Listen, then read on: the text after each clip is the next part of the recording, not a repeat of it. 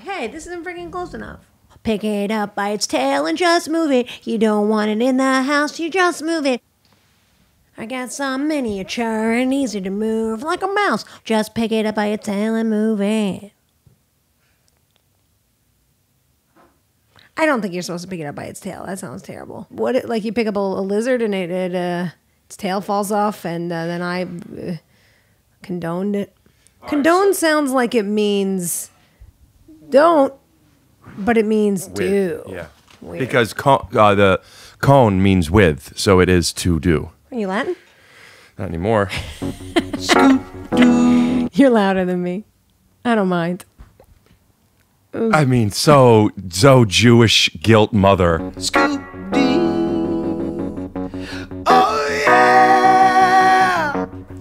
You look like a conservationist with your reusable cup, and I look like a dick with my disposable, but you threw out your disposable and put it in a reusable. Correct. I'm not trying to fool anybody. I just like Just drinking out letting the public know that we're equal dicks. What you're letting the public know is that you're a little snitch, and I You're a little bitch. Yeah, no. I uh, at, when you get it to go, this is what they give you a different cup, and I like this cup.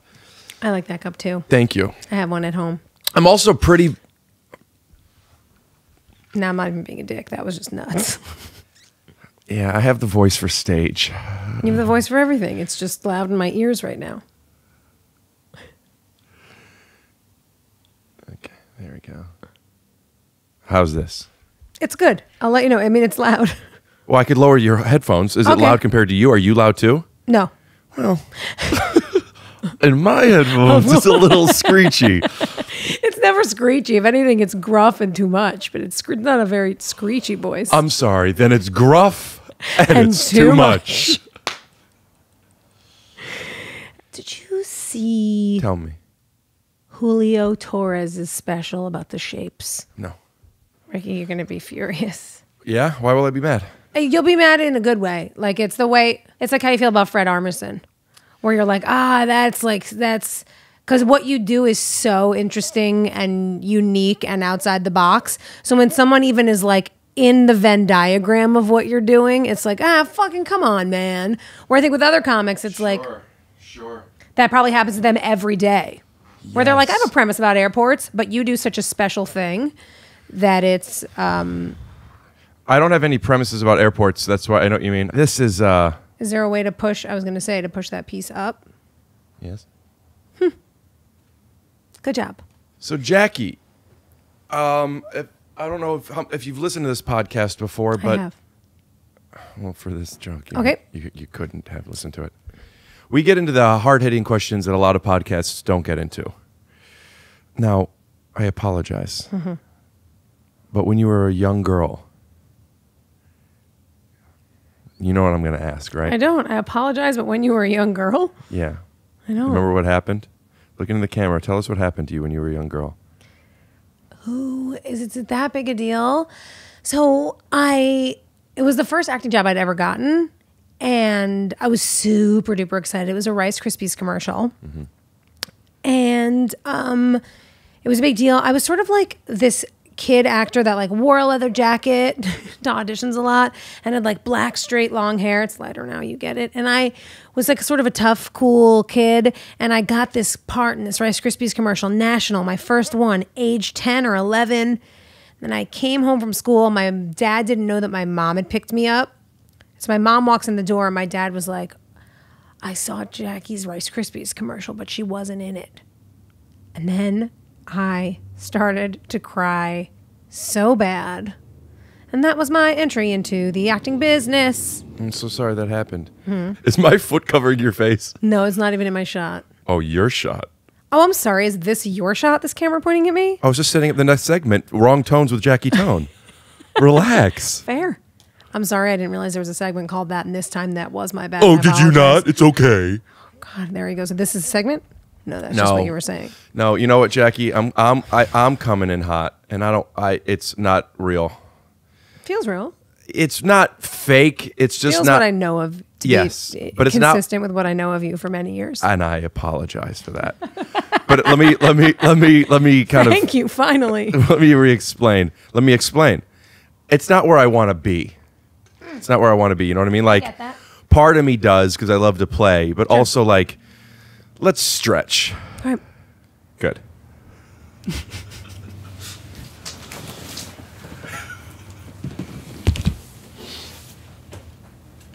I full bend and then hold your elbows Sure. and put your put your head like oh everything just cracked. Oh Christ. this if you want. Oh my god, where'd you get a Theragun? Bought one. You did? I thought you were Podcast is got doing well. gifted. No, I bought it. I got it at a discount. There would be no way to not masturbate with that. Is it too painful? I don't have a clitoris. Oh, yeah. Yet. Fingers creased. Let me see. Oh my god, this is a fucking this is a vibrator. Well, Get out of here. well, let's let's have you in the chair and let's try it out. I'm definitely not gonna put it on my parts, but oh my god, oh my Yeah, god. it's great. Oh my I this is an experience. How much I'm drooling. How much did it cost? Well, it retails for three fifty, but I know a guy got it for two ninety. Isn't Jamie Sigler, Jamie Lynn Sigler's like husband? I feel like he not created, but something very big to do with this. I don't know anything. I don't even know who that is. Oh, that's tight. You only have to press it nine times to shut it. No, no, there's three levels. You could turn Oh. you turn oh. off at the bottom. Oh. Shout out to Hypervolt for sponsoring Take Your Shoes Off podcast. Maybe. for two hundred ninety dollars. I guess I, I, I could just put it here, right? Yeah, put it down. What, what's the problem? I like it. Uh, yeah, I like it in its place. I like it in its place, especially with the cameras on, and it's like I'm gonna look at it later and while Yeah. I'm editing, and it's like that doesn't go there. Could you? Yeah, like you could bring it down and angle it up. Yeah, How's her? great. She nice? Okay. Oh yeah. Jackie, thank you for coming over. For those of you that don't know who Jackie Tohn is, Jackie Tohn is in. Uh, she's done a couple of, I think one, uh, two episodes of The Sopranos. One episode of Sopranos. Felt like two. Jesus Christ. I wish it felt like two. I was supposed to be recurring. I got replaced. Oh, jeez. You did not have Way a. to bring it up. You did not have uh, a lot of successes with the early acting, with getting kicked out of the Rice. Kicked out of. I mean, that's my thing. Getting uh, removed from the Rice Krispie commercials. Cut. Yeah, snap, crackle, cut. It used to. Uh, it's not a good enough no, joke. I'll keep it in though, so people know I'm not perfect. Uh huh. Yeah, Otherwise, they would have no idea. that was the implication, but I know that's not really true. Mm-hmm. Heck, I don't even get many views or listens on this. Heck, you will. Jackie, thanks for coming over. You were about to tell everybody what I did, and then you just said the Sopranos. Who gives a shit what you did? It's about what we do. What we will do, who we will affect, who we are in our hearts. Does our soul speak to the masses? Are we helping? Are we do we have a carbon footprint? Are we making a lasting impression? Do our children think we're cool? Are we childless? That's something that's pretty tough for you, huh? Yeah, it got dark toward the end. That comes out in all my improvs now. It just no matter what I do, and then it just ends with like, I want a baby. Just dead eyes to the camera. Are you still um, reserving your eggs? Frozen. Frozen them. Yeah, you have to. Yes. Pay, is it a monthly fee? No, it's an annual. Um, this is how they get you. To quote my uncle Harvey, um, they. He had uh, his eggs frozen. yeah, yeah, yeah. Actually, my dad and both of his brothers love the "This is how they get you" narrative. Um, but uh, when I first did the egg freezing, It was 2014. yes. So I, um, we should tell everybody how you know that, but that's another. Okay. Sure. Okay, well, I just feel like why aren't people? Well, I guess they could just be like, oh, they're good friends for You a long put it on. Instagram. He knows. I don't think there was Instagram. Jackie and I used to date, and I went with her to get her eggs frozen. Uh, at the time, I just thought she, we were going to get eggs, and uh, then she got changed in some weird gown, and I was Yeah. thinking, "What are you, a messy It eater?" was made of paper. That's Yeah. right. Very messy. and then you got your eggs, a couple eggs taken out, and they, um, and now cut to five years later, they're still frozen. They're on ice in Encino. And sometimes I have dreams about them. Yeah. Their names are Darby and Michael, and I wake up in cold sweats like, did the generator fail? Like, this is a real. Are there only two eggs? no, there's 15. And, oops, sorry, making loud noises. Um, there we are. Um, I moved it a half a millimeter and said, there we are. um, they, there, uh, there are 15. And I've been thinking about doing it again But Why? I don't 15 know. not enough? I know it is enough, but I think like my need to control and also my need to control combined with this I don't know how to say this without sounding like a douchebag, but like the plentiful what feels like a I'm going to say blessings, and I don't even really believe in that word, but like the dumping of what feels like good fortune right now, it, career wise, feels like would be the opposite of a good time to have a baby. I don't understand. You're saying I'm saying what does that have to do with getting more eggs? that like oh god it just makes me panic and go like i'm getting older i want to have kids i want to make sure to secure this what if for whatever reason those don't go right or Right. those don't um because it's a it's a long process so you have to inseminate the egg Mm-hmm. which who knows if that'll even work and then if that there goes that egg and then if it does work they you don't know if they attach which is Mm. why like people who want one baby sometimes put in more than one at a time which is why people end up with twins and triplets because oftentimes you'll put in a few and none of them will attach and so it's just it's a it's a heavy thing so anyway, it's oh, it's on my mind, not constantly, but often. And so lately, I've been like, oh, I wonder if I should do it again, which is not a reasonable thought. It's like a me trying to control a thing that is, I shouldn't say out of my control because, you know, I could look through a book tomorrow, and one of my good friends who's a publicist did that. She just got to 37, and she was like, I don't know, I'm just gonna have a kid. And she went. And she, what did the book do? Oh, it was uh, Eat, Pray, Love, and it just really inspired her to go to India. No, she she went to look through like a book of uh, donors, of sperm donors. How do I get in I one of those not- books? You get paid, by the way. If you you could make good money, I think. I think there's way different ones. Like if you jizz in a cup and you're like, it's anonymous, never call me again. And then you're like, and then you're like, never call me again. I think those guys don't make real money. But if you're like, let's say a Harvard grad with a great job who doesn't mind if when the kid is growing up, they contact you to find out who their father, like all those. What if I graduated from college but not Harvard? I'm athletic and I'm and I'm funny, and I'll let them Did see me every now say and then. hysterical and hilarious, and it came out like hysteric, and then you said funny? Because you are hysterical and hilarious, so it would have been okay. Just the way it happened was Thanks. really cute. Okay, Yeah, I um, when I was gonna say hysterical, I thought, well, take it down. Funny. Yeah. I know I'm funny. I've been hysterical. Mm-hmm. It's like going to a restaurant that has a, as, a, as a metaphor. that is like a, yeah, uh, the whole menu, just metaphors. Yeah. I was trying to think of that one you told me when I was dating that idiot, and you were like, and I didn't even know all the terrible shit he was up to, but it was I, I was like just kept complaining and freaking out about it. And you were there was a metaphor you made. You're gonna have to cut this out. It's boring, but there was a metaphor you made about pizza, oh, and Oh, it was yes. so fucking apt that I was like mind blown, but not apt enough I know for me it. to remember it. I know it. It's we're no, no one's no one's going to be perfect for you. So if we remove that idea, it makes it easier to give us ourselves and other people a chance. But still, we have to remember that even though I can't get the pizza, you know, there's no pizza exactly how I want it. I still want a pizza that starts off a certain way.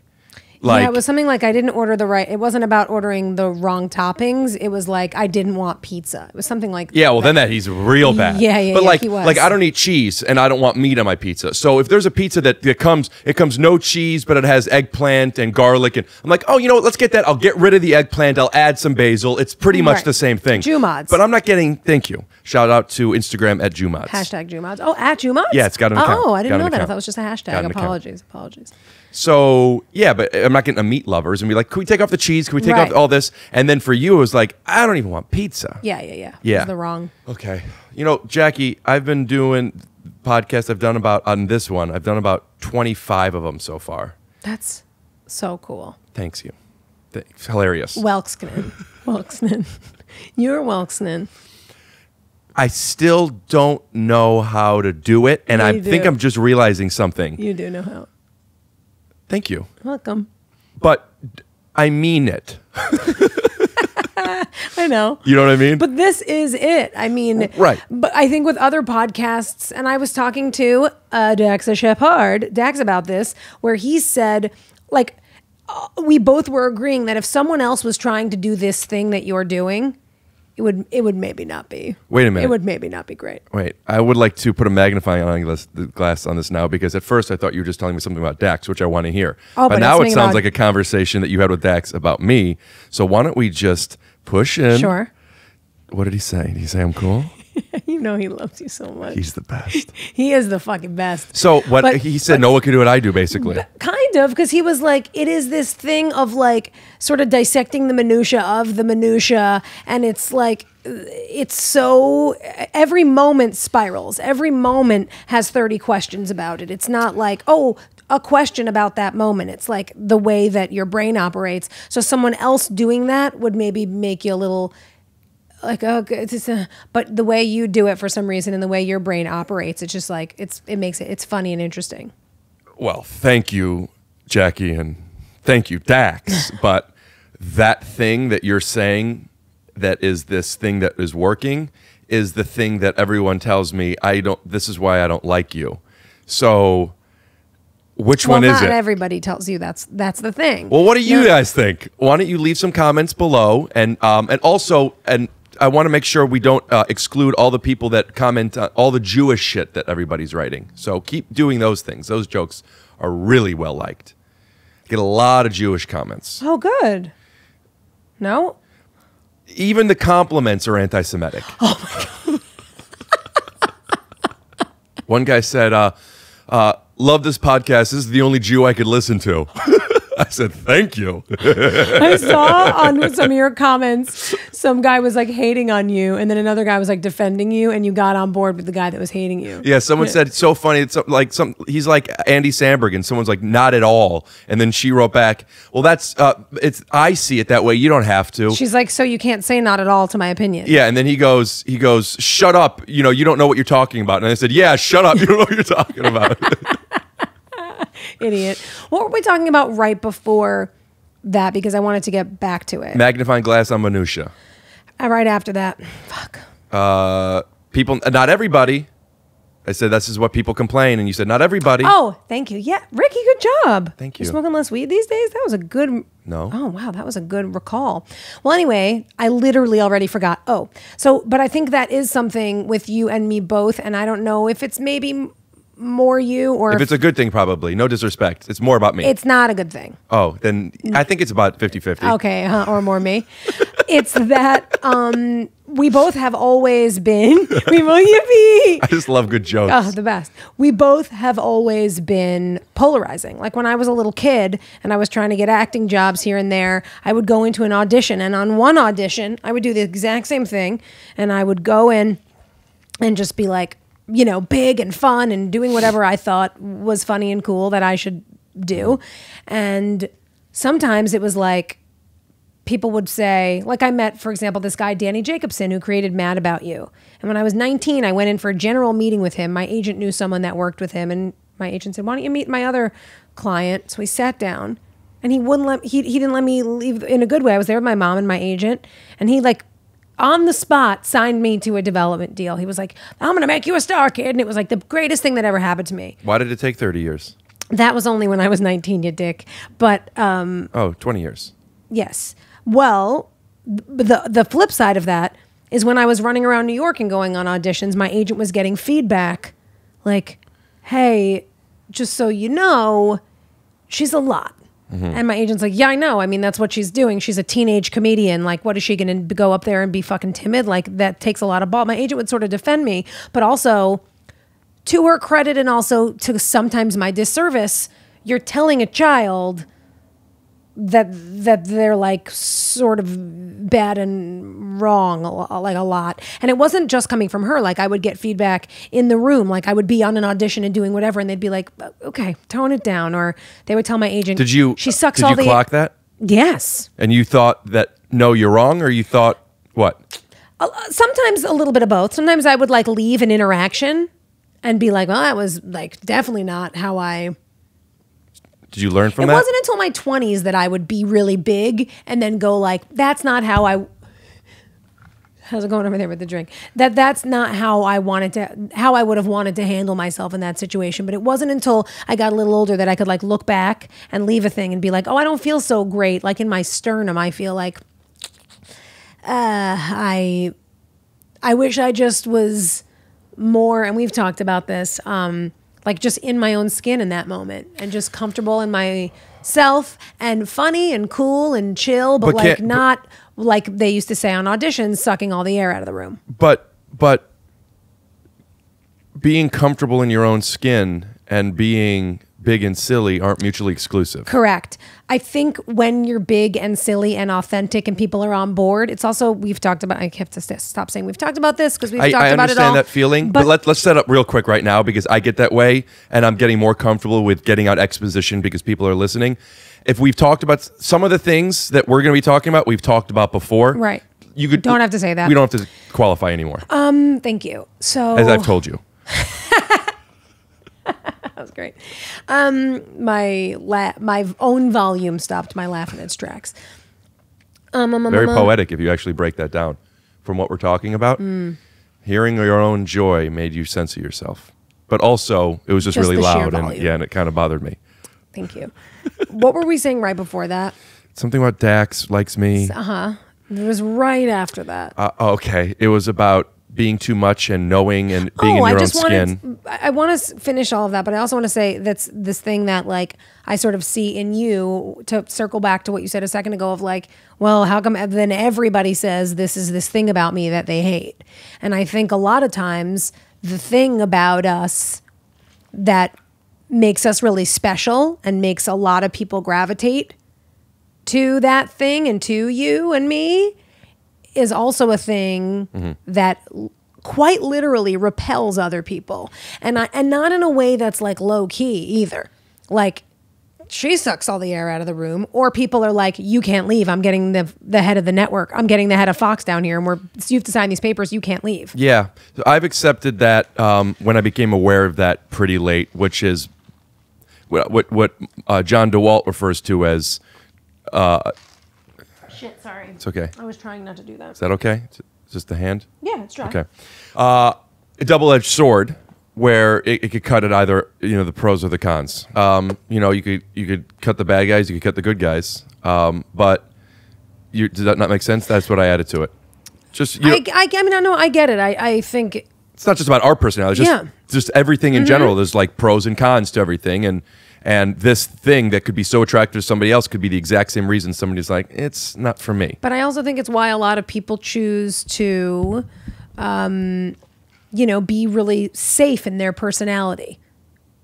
And I think that's not sometimes a choice and sometimes not. I think sometimes that's just who you are, and maybe you're shy and quiet. And I think that's, you know, obviously as rad as well. But I think when you have a huge personality and that's just who you are and what you've always been, um, and you feel like people are like, ugh, what you're performing all the time. It's like, I'm actually, this is what it looks like when I'm walking my dog and I'm singing to him, one, two, three, I'm a one, two, three. His name is Glenn. Count it, one, two, three. So things of this nature that I'm doing, um, cut that, uh, that I'm doing. Did you say cut that? No, yeah, I did. You can never cut it because uh, the people at home need to know about Glenn. Of course, you must keep it in. Okay, we'll put up a picture here. Oh, he is fucking brown and brown eyes and a gray beard. Oh, we lost Ricky. I don't know how to handle when I don't want to talk about something anymore. Because do I really not want to talk about it? Also, yes, I don't. But- yes, I don't. It's But funny. also, Yes, I don't. It's a good name for a special for you. Thank you. Yes, I don't. But also, I don't want to negate somebody else. Like you didn't it- want to talk about Glenn anymore? I don't want like this idea of no more. This stuff we were talking about before about how Oh. Dax thinks I'm so great. Oh, Jesus. No, about about this stuff because like I have so many thoughts on this. Me too. And I and Have and you I- talked about it a lot on the pod? I, I think I mean mm. versions of it. I talk about it a lot too. I mean, not publicly, but it is, it's a big topic for me. But I think both of us, to our credit for who, however we've landed as grown-ups, have done an enormous amount of work on ourselves. And I think it's part of why it's such a topic for me because I can look back on so many years of my life and go like, "Whoa, Yeah. I I didn't see what well, I'd like to talk about actually maybe uh, the origins of that for me was while we were dating. Um, the origins of the realization or the origins of the behavior." The realizations. Okay, I was like, because you were nuts when you were a kid too. Me too. Okay, well, take it easy. All right, just a little judgment, a quick judge. I have been working these past few years a lot on balancing the the the difference between where I need to calibrate differently and when I need uh, uh, versus accepting this is what I am and what's the best most efficient and and it's very fluid but um, what I have where I am at the moment is this is what I am I love this thing that I am I understand that everybody doesn't and I Stop saying everybody doesn't, please. That's just no I mean literally everybody doesn't like it not everybody loves it. Not everybody doesn't. That I- would mean every single person doesn't like this. I understand But that's not what I want you to right say you're, about what yourself. you're saying that wasn't what was the narrative that was going through my head Okay, but cool. through the language i know what you're saying Okay. now uh, not, not everybody likes that Mm-hmm. so i have to, uh, right now in my life it's working on a dance between only allowing those people that are on that frequency to be part of my life when i have the choice versus when i'm in environments to kind of qualify myself and i had a show last night and i've started posting my shows on instagram I noticed. recently. I, I was wondered if you were just doing more shows or you're just posting. I just about started them. posting Fuck about yeah. them, and people are coming out, and it's it's Hell nice. yeah. You know, four people to a show. But it's like people are coming to see me, and great. But with that comes the the thing that I don't like, which is, am I hosting your evening now? You want to Oh. come? You say hi before, after. You're messaging me about the tickets, and the, it's just I don't. Mm-hmm. So last night I had a show uh, at the Improv, and afterwards a, f- a few people were there, and I had seen them, you know, at a couple of shows this week, and it, they're very nice. And Fans. I Is have in the group of five. I have two of their numbers, and some of them I've never met. Okay. Um, and I, you know, I don't, I don't go to lunch with any of them. Okay. And I'm high. sure. Sure. okay. Sure. And I said to them, I'm going to. They're asking me like, but oh, but did you do this and how's this? And it's so nice to see. And and Mm-hmm. I said, I, I am gonna be. All I have is surface. All I have are jokes. And if you want that, I'm gonna kill. But if not, that's you got to know this is what you're in for. For what? The rest of the night, or for the show, or for what? The when, show's when- over. We're just outside. So I don't know. Am I? Are they talking to me for two minutes? Are they going to stick around for the evening as I'm like, you know, just waiting to, you know, am I going to do another spot? What am I doing? I don't know what I'm doing, but I don't want to have to. I don't want to have to be like, yeah. Oh, so you guys are roommates with? Uh huh. I can't do that. I can't do that. Uh-huh. That's interesting because you're a you're a rare breed. I think of because how your brain operates of um like really setting your boundaries, but in a way that can be disarming to people who don't know you. Where like someone else would like play along, like um a big thing that you do, and I don't know if you do this anymore, is like if I go, oh, kiss your mother for me. You'd say like I don't I don't like to do that because if I forget, then I've told you that I'll that I'm gonna kiss my mother for you, and then I don't do it, and then later I'll remember I didn't do it, and then that'll that'll make me uncomfortable. So maybe don't ask me to give someone a high five or say hi to someone or kiss my mother for you. Which reminds me, my mom said to say hi, and I did tell her maybe, but that reminded me. Hi, Deb. So, um, but it's a similar thing like that where um, I think being on the spectrum, if I had to get, I don't know enough about it, but it feels like a behavior of of of being on the spectrum of like, uh, oh, here's my bad. Like socially, I don't know that it's it's certainly outside the norm when someone says, "Hey, say hi to your mother for me." You go, "All right," and if you tell her, you tell her. If you don't, you don't. But for you, it's like a very real thing. it's hard to police that because it. When is it okay to lie? When is it okay? And then that's just more to calculate. But for me, right? But th- that's what makes your brain fascinating to me is that it, it's not hard for me, or or when is it hard to lie, or more to calculate. You just say that to me, and socially, I've de- I've been doing these cues uh, for so long that I just go, all right. And then if I tell the person I see that you said hi, I tell them, and if I don't, I fucking don't.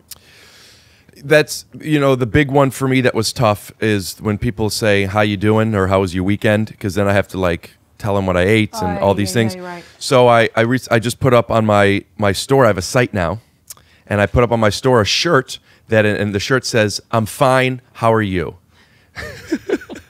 I'm gonna, So you could get that for I'm gonna wear that like thirty bucks. I make two dollars on it. I got to figure this shit out. merch sites of the world. it's everything's so expensive. But so to, to circle back on the end of that show, you said to these people what your needs were in that moment, which was like, "Hey guys, I, I, I'm not gonna find and out where also your an sister's from in Oklahoma." also an understanding of what the typical person's needs are as well that I might not be able to satisfy. So let me tell you this right now. Right. Because when someone says, "Are are you always on?" I want to tell them before they even ask that question, I want to say, "I don't know. I'm not always on. I am now, and it's going to be." Right? And if And also, you came to my show, and I don't care where your sister's from. yeah, and no disrespect. I know. to- no disrespect bless. to you, but like do, do you want to know what, you want to know about my brother? I mean, you know, I always want to know about your brother. To the guy, to the- of to the person, you know what I mean? course. He's doing great. Shout out to the the Greyhound Highland Park. Hey. And he's opening his third restaurant now in Glendale. Christ.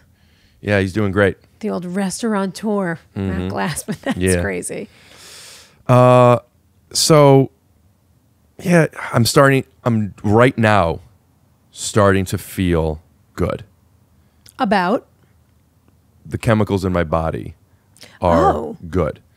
The combination of what wherever we're talking about, me now calming down, the coffee.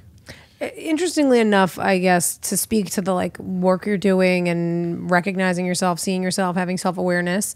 Um, when you were saying at the beginning, like you felt a little bit like on and um, all of that, I I didn't feel that. I wasn't like, oh Jesus, I came to do. I would love to talk Could about you this take with you down now." a fucking notch, please. Here's something That I want to talk not about. how I felt. And Thank you. and and I will say that that is something I do feel with you. Have you felt that bef- in the past couple of years? Nope, not at all. But I'm just sitting, not at all. But I'm saying that was something I would feel with you all the time. Where I'm feeling very emotional right now. I for real, I'm I- crying I right could now. see. I love you. It was something that I would feel with you, like you were just being fun. But I was also like a woman in my 30s in a relationship with this person that was like kicking their shoe off into a light in American Apparel because he felt like it. I just took that video down two days ago. I saw it on my old YouTube channel, and I like. I don't need that up. I up, don't need that up. but Um, we will put it here. You know, it's, it's interesting that you say that because I know a lot of times if she's out of town, uh, um, I uh, I go to John's place and we just talk about girls and just really bond with each other. Yeah, because I mean, if your girl's on top, you gotta hang out with the guys. It's gonna be a guy's. The best part, the best part about girls is um, is, uh, John, could you get off me? The best part about girls is how, how you connect with them. John, what's your favorite part about girls? My Dude? favorite part about girls is Could you hold a second? I'm gonna come. It's a relationship. I like being able to talk There to we them. go. There, It's just really came, fun. just It's came. really fun. What's your favorite part? Uh, just getting to know them and talking to them and sharing your life with them. yeah, that's right. Um, and so part of me was like, oh, I love this. I love that this person has this childlike wonder and this excitement for life and this lust for life and this sort of disregard for other people and not hurting other people and not putting anybody in danger. Certainly Negligence making a of it, couple, certainly making a couple people uncomfortable here and there. And nobody wants to be in a store and have a fucking shower slide fall an inch from their face. But you know, that's sort of what it was sometimes. Mm-hmm. So it's interesting to hear you now when you're not being big go like, "Oh, I feel let me check in. I feel like I might be being too big for this situation." It's, when I'm I don't see that. it's been very tough for me because I don't know when it is. I mean, I'm I'm overly emotional, and I know it's not just a topic. It's it's it's with you and the history we have, and just the connection I have with you. But I got I, I found out that I'm I'm you know years ago I found out that this how I'm received right. So then I get this diagnosis, and it's great. It's like, oh my gosh, all these patterns now that we're unrelated mm. become connected, and and now it's fun, and I'm making jokes about like you know, oh I could I could say that now, and you know what, all the whatever. And after a couple of months, that novelty wore off, and then it got to a place where I just the blinders were, you know, at least opened a little more, and I'm literally seeing reaction shots for the first time. Basically, you know, it's like my life was a movie where the camera's here, and all the sound around me was "You're the best," you know. And now I'm looking around, and I still hear "You're the best," but I see the person going, "Not," and it's like, oh, I don't know. So I'm like, I, I'm learning to navigate a war. uh, I'm under the sea now, you know. Do you feel you're under the sea? when when I I when it when I first find out, I'm just in an, an environment that I have Mm-hmm. I, I have a new sense of awareness that is great, but I don't know how to you know my instincts are don't I, I don't have the the experience to deal with certain things Yep. that now that I see them. So then I got into a pretty big depression for like a year of me starting to see all the things that I'm doing that And then micro, I mean, uh, Mike, I don't want to interrupt you. Sorry. It's okay. Do you want to add something? I was just going to say, and I imagine when that fucking tarp is lifted off the thing, you're then micromanaging every single thing you're doing in your head, wondering if it's one of the things you did that maybe repelled somebody. but uh, uh, but does it bother them? Does it annoy them? Do they like it? Do they not? Below all those layers is the root layer, which is my intention versus its the receipt. And is there a disconnect? Because once you know that, then like there's a different if it's the, idea of when you're arguing with somebody to to at least be able to understand the other person's perspective and you don't have to necessarily agree with them i can't force people to agree with my choices but i do want them to understand them and that's a difficult thing to Oh, yeah. that's that's just difficult right Especially when the, the behavior, which not that it's that big a deal, or I, I'm saying this as my own behavior as well, isn't something they like. But so it's like I don't want to fucking understand you. I don't want to be part of whatever this is, and I don't really need to understand you. I don't but know that's what closed-minded, and that's USA 2019. Yeah, but this was 2017, so things times were different. But I, I so for a year, can I tell still tell this story? Yeah, duh. For a year, I'm now looking like I say calculate things. A lot of times, I really do look at them as formulas, and there's a few formulas out there, and the variables are different, but you just need some information to plug into things. And if I ask you, can I can I tell the story? It's going to take a couple more minutes, and you say yes. That's not enough information for me because now I want to know: Are you saying yes because you know that's what I want to be doing? Are you saying yes because you want to? Why are you saying yes? Are you being nice? So then, so now, so now, for I'm asking questions of people to try to better understand. Oh, I don't know how you receive me. I'm a, I'm aware. Of, I've said this on a podcast before, but this is like a religion for me almost. But answers are kind of easier to find than questions. You don't know what you don't know until you don't know it. So I'm I'm seeking all these questions now and all these things. So I'm now I'm literally asking people. I've found that most a lot of people don't know how they feel consciously. So how am I going to know? For sure. So even if I then, ask, ex- exactly. So then, when you ask, sometimes it might feel like a well, I don't, I don't know. And that's But a then- microcosm right. of this whole how you doing thing. First of all, whatever I tell you and you tell me isn't real. Uh, the intention behind the question isn't real. So do I lie to you and pretend that the question makes sense? I- I'm- Right. I'm, already I, now I'm feeling myself uh, too much. But basically for a year I'm depressed and I'm trying to figure out, oh, I see why this bothers people. Oh, I see why this is this or that blah blah blah blah blah blah blah blah. And then it got to a point where it's like I'm not making any choices anymore. And it's just I'm not I don't feel funny. And by funny, I don't just mean on stage getting laughs. I mean my life is Mm-hmm. funny. My I'm only around funny people. I want to laugh. That's that's the chemical What it all makeup of the body. Same with me. I know. So then I got to a point and like issues I'm having with peers and friends and nothing big, but just like, oh, how do I keep my side of the street clean? Literally, how I want to make sure, and I'm and I'm starting to appreciate other people's perspectives in a way that I'm glad that I've learned to do, but it was I was it was too much. It was it's like when you watch a movie and any good written movie, you see the bad guy and like you understand why they are the way they are. It's like, mm-hmm. oh, that's beautiful, but he's still an evil person. I mm-hmm. understand it. I don't agree with it, you know? Right. So I'm now like acquiescing in a way where I'm just this this isn't sustainable. Mm-hmm. And then I got to a point where I started to remember, oh, and this is a little corny, but in a I guess in a self help way, but oh, I'm I'm awesome. Like no, like I'm mm-hmm. hilarious. So which one is it? So then there was a while where it's like I I, I don't I, I Your I'm- brain loves to compartmentalize and put things in boxes and have there be a black and a white. And I think tying back into the like, everybody thinks this. And I know you know it's not everybody, but even saying things like that. And I think it's why getting a diagnosis was so powerful for you, for anyone, of course, when you're fucking don't know what's going on. And then someone's like, all these unrelated things are related. I mean, but that is like next level feels good for you because you have such a need, same, to understand and to put in lists and put in sections. And um, fuck, I was just going to say something in regards to, what was it about Dak, how much Dax thinks I'm yeah, cool? it was about how Dax thinks you're dope. Um, what was the last thing you said? God, I keep getting distracted You- there's so many things I want to say. you were talk you, you were you were triggered from the idea of me compartmentalizing everything, and then when am I, you know, when is this good and when is it not oh, good? Oh, so you were saying like, so is this is this good or is this bad, basically? And I was that was just tying into my brain of like, I don't know if your brain operates this way, but if there's a way to see the gray, or if that's where you're sort of getting. I meant that Ah. that was step two. Um, and I'm currently in step three now, which I don't think is the final step by any means. But it was, oh, I'm not good. Wait a minute, I am, but I'm confused because it goes back and forth. And now I'm at a point that feels really great, and I don't know. I don't need to qualify everything. So it feels really great. And here's where it is, which is I think I've, at least where I am now, I've accepted, I know who I am. I like this. And th- I also know that everybody is their own version of of them of that, right? And not everybody likes this What's this? themselves.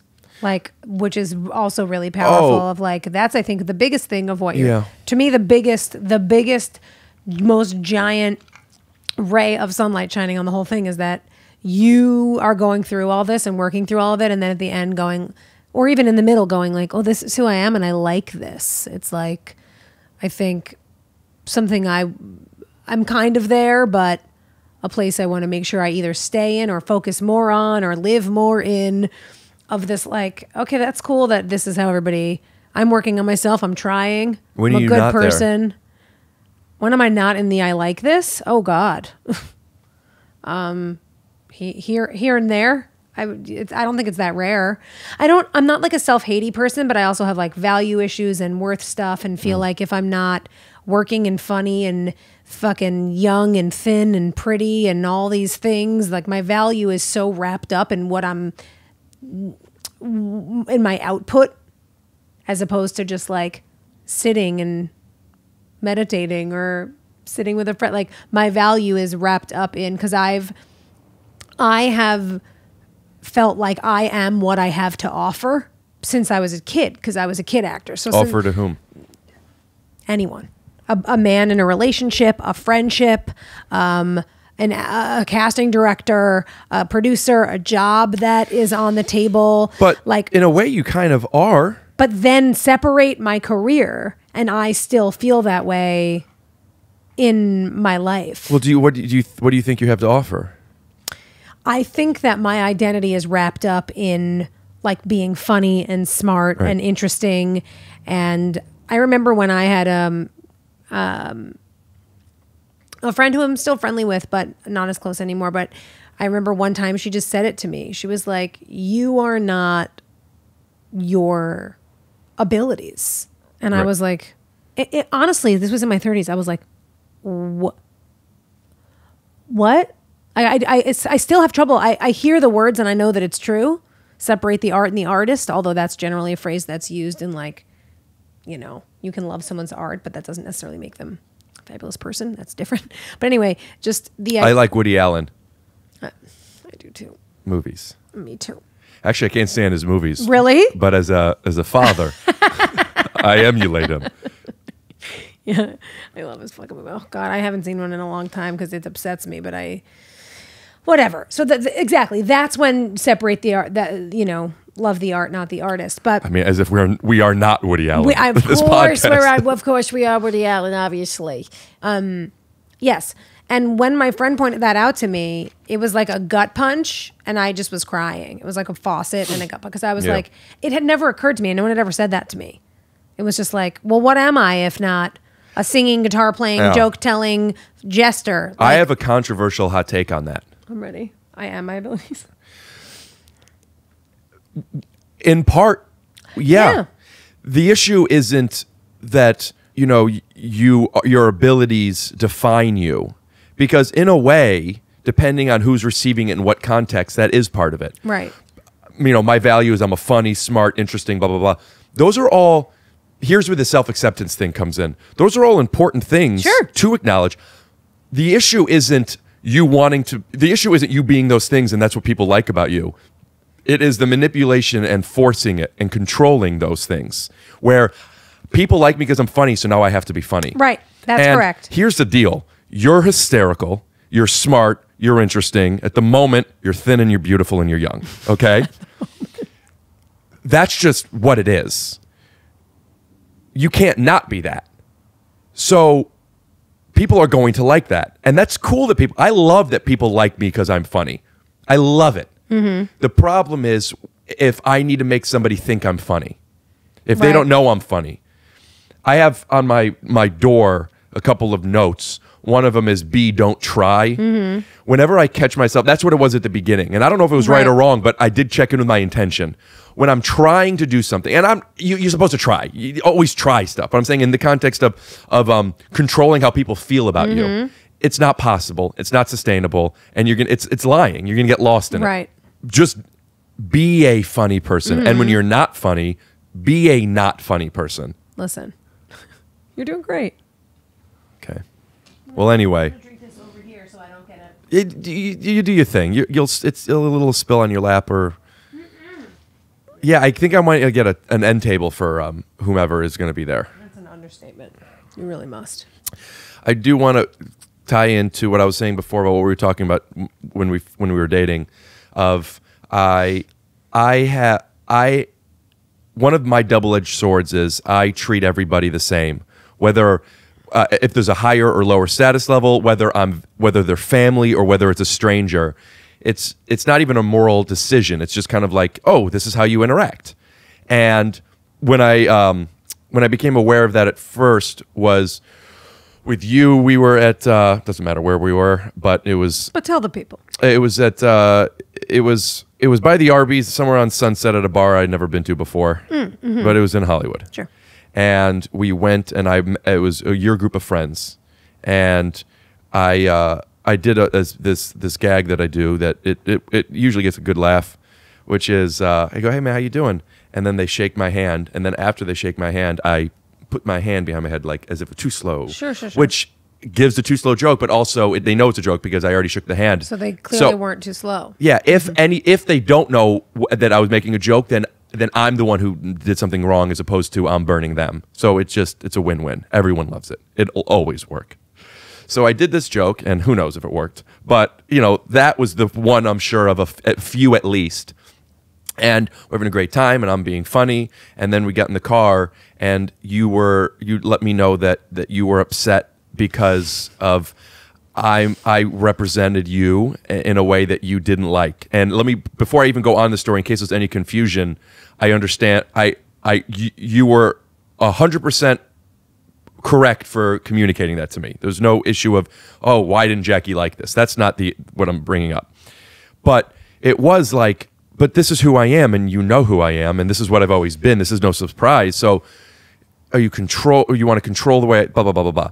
And I came. I remember that conversation happening a lot, where it was like I would bring something up, and it was like I feel like your love is conditional because I'm being my true self. I felt this so way. right. So if I Yes. c- if so, you would say if I can't be my true self, and you don't, and this is a behavior of mine that is certainly recurring and one that you can't really deal with, then it feels like you're like your love goes like here, and then it's not here, and here, and then it's not and, here. and it was it was more complicated than that because mm-hmm. sometimes it was this is what it was what you literally when you first became attracted to me when you when you saw me perform and you sent me a message and then we first started dating and that was all these were all the things that were validated to me I hit on him. and then and then they're not and I, I I literally Yeah, that's I, I- confusing. I, I don't know like when is it hot then when is the stove hot I, I I don't know when so plus I, I this is before more I was even less aware in those moments and I didn't know how, I didn't have And- the tools for it. Go ahead. I just think that um for me also like that that wouldn't be like if someone said that to me I wouldn't be like well you like it one minute and not the next. I would sort of understand that um and, and I'm not saying faulting you for not understanding I'm saying it's something you've learned a little bit like later more recently yeah I just that- did I literally didn't understand what that meant. That it's like, yeah, of course, it's not hot and cold. It's like, yes, it is totally funny in one scenario and not in another. To hop on what you're saying about you acting the same in front of everybody, where it's like you wouldn't go meet. I don't know. You'd have to use an example of a president, you know, we respected, but you wouldn't go, let's say, meet Obama and act th- that I would the way. Sure. Um, I wouldn't love that if I was your girlfriend and we went to go meet President Obama and there were antics. And that's- and, and to be funny and cool with him, oh fuck yeah. But that next level antic that you can bring to the table, I don't know that we would need that in the Oval Office. However, what if it worked? then, then I'd be like, oh my man, no, I hear what you're saying. But I that was still- what was confusing to me because I remember feeling the reason you're not liking this is because of the reaction of this person. interesting. Which makes sense. Which Interesting, makes though. sense. Yeah. But if this if if if you if you if I added a laugh track to this scene, you would then have changed your mind and liked it. Which makes sense because well, I like when Ricky makes my friends laugh. I don't like when Ricky makes my friends uncomfortable. I mean, the logic does make Right. sense. But in the time, I felt like, oh, Jackie's opinion of me is controlled by how other people receive me. And I Oh. didn't understand why. And what I came up with, and I've said this on a podcast before, and it's kind of a it's an it's a tool of of, of how I live my life now, which is I'm a, I'm a gambler. And I mean this with with in Vegas with money. I mean this with bits. I love to gamble. Even if I lose a hand in blackjack, I'm having a good ass time. You know what I mm-hmm. mean? It doesn't affect me. Effect, it affects most people. So- and I don't mean the people that you're doing the bit to who are then maybe uncomfortable or whatever, or not uncomfortable, it went right over their head. What but I happens think to them? for a lot of people, like for myself, I am affected if I do something. Right. And and it and it crashes and burns. I, I I am uncomfortable, and I wish I didn't say it. And I feel the need to. I'm codependent, and I want to apologize and send a quick email like, "Hey, I said the thing about the Jew and the mom, and I fucking that was that was. I'm sorry. Like that. There's there's times I see people and they're acting a little weird, and I have to like go through my my mental. I was gonna say Rolodex, not quite right, but Have my- I done this? You're saying gone- about yourself? Yeah, and gone like, what did I did I say? Yeah. What did I? There's a good chance. Oh, okay, maybe it is. And then ask them, and they're like, oh my god, I didn't even see you. And I'm like, okay, fair. Glad I brought that back up. Oh my god, I didn't see you. Whatever. Like, oh, you're I- saying you thought yeah, that like, they're I'll acting see- weird as a mm-hmm. response Yes. to what you did. Yes. Yeah. Good to check in. I like that you asked, though. I do that too. But then I will. I I, do, I can't not because uh, I have to. I have to make it clean. I have to make it okay. I have to go like, hey, did I do this also, thing? that's and how you sometimes they go. how you. Res- that's how you learn how to navigate social interactions too. sometimes they go like, "Yeah, I didn't love that," and I'm like, "Oh my god, there was a girl on Glow. Call HR. She had a gnarly camel toe in her tiny, teeny, tiny baby shorts. That's when you could see the pussy through the pants. hundred percent pussy lips, and I don't know. I I walked by her and my brain told me to tap it, Yeah. Well, her pussy's there.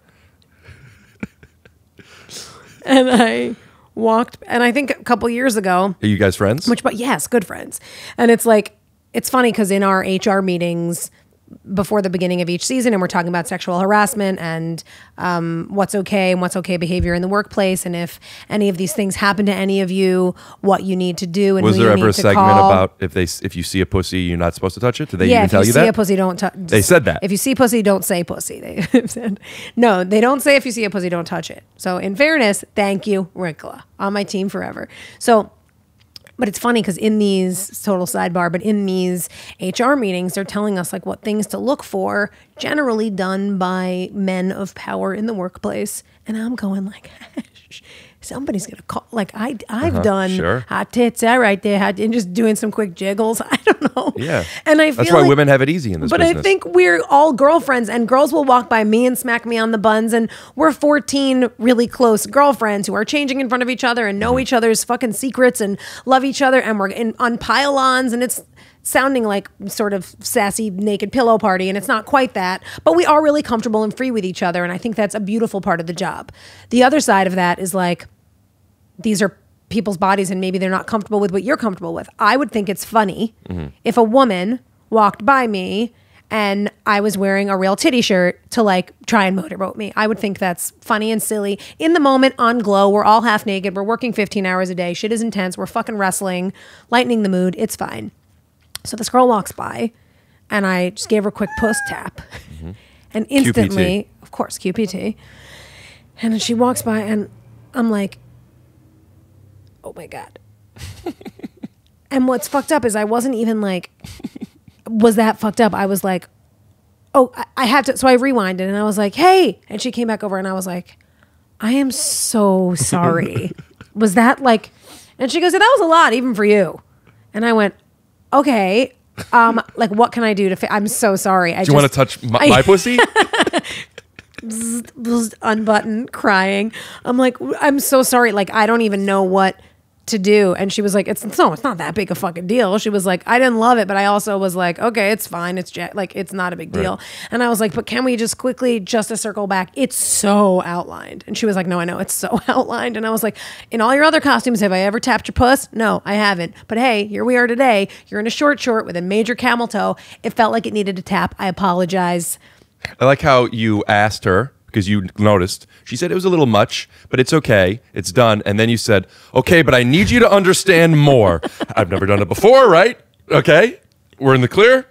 And then the next day. I'll never do it again, right? and you told me the story. I remember the next day you gave her a $25 gift certificate to Starbucks with an apology for touching a pussy, which was very classy. That's right. And I wrote 25 on the on the cardboard, but it was really for 15 and she was kerfuffled. But uh, They don't know. They you don't add it to your thing. Sure. Do you need a napkin? No, but it's a good thing it was over the tray that time. It really did a leak job. This is why we do trays. it was a leak job. on How are your hands? Are your hands rug. wet? Good. I'm going to do a quick lick. One. No napkin? No, we don't need to pause and get up and the whole thing with the sound. Okay. You know, yeah, you jump cut. We true. Were we um I remember where we are. okay, I do too, but I wanted to I, I like that conversation because I think it's Well, the, I have a my there's a there's like a thesis that's like a couple of sentences, really one, but I might use a couple Sure. that that I could maybe get out first Sure. about the gambling thing. Oh, great. Which and, is- and you also, I wanted to make sure, don't forget to circle back as the gambling connected to when you were saying you act the same around everybody. Yes. Great. It's all it's per. uh, This is perfectly paved. Great. Okay. Perfectly paved with a little pussy in between story. So, though I like to gamble, Perfectly paved with a little pussy in between. I heard it, but I was thinking someone was at the door. I'm gonna make a T-shirt. It says "perfectly paved with, a little pussy, in between." uh-huh. It'll be thirty dollars. I'll make. I'm like Three. three dollars on it. You know what? This one I'm gonna do for thirty-two dollars, and I'm gonna donate Fair. two dollars to a pussy charity. I thought you were going to charge 32, make five. No, I was gonna give Wow, two dollars to a you're a pussy charity. man. What's a good pussy charity? Maybe I'll just take five. Yeah. You know what? Here's a pussy charity. This guy. All right. I'm charging thirty-two for this shirt. so what it is is, though I like to gamble, I could do that with my money. I can't gamble with other people's money. great and to that's it. with you, I'm going in with your social group, and I can't. I I yeah. That's Isn't a that great? That's a great way to put it. It's so, So- so- concise. So sometimes when I'm in a situation and my instincts, I, I, I- just, you know, I, I kind of, I don't like to censor myself.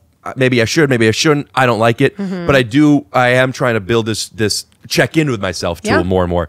And when something's about to happen in an energy where I could feel maybe, you know, I usually when I do, but I know it's going to work. Sure. Who knows if it's going to work? I know it's going to work. Does it work? I don't know, but I know it's going to work. You, does that make sense? Un- never has something made if there's ever a moment where yeah this is going to work maybe if there's ever like a, i'm 99% sure Sure. i will i will then be like whose money is this you know what i mean so good. it's so good and then and also it offers because it's like oh fuck what a wasted there was could have been something great here Mm-hmm. there's still the world where afterwards hey i was gonna do this uh bit Mm-hmm. and then it could be, i'm glad you didn't or you should have and then on the should have i say may i Ready? i got no problem i'll, I'll Have- jump right in Have a seat. yeah watch Um, this But I think that with there's an interesting thing in relationships um, where Schnarfit, where like you love a person and you so value their authenticity and want them to be. Of course, everybody wants.